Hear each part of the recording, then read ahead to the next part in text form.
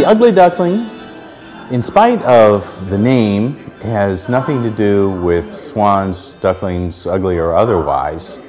Uh, it was written by A.A. Milne of Winnie the Pooh fame.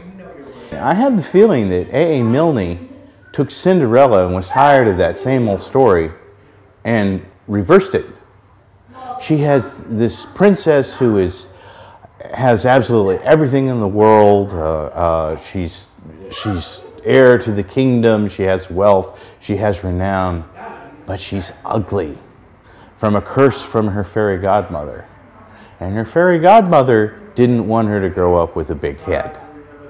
So when she finds her true love, then all of a sudden she becomes beautiful. As opposed to she was beautiful to begin with and then finds riches. She has the riches first and then becomes beautiful. And it's, it's a play about character as opposed to about dumb luck. Well, the great fact about marriage is that, well, once you're married, you live happily ever after. The king and the queen are frustrated trying to marry off their hideously ugly daughter. So their solution is to switch a very pretty handmaiden of the daughter. Would you pretend that I am Prince Simon? You are the beautiful Princess Camilla, whom he has never seen before.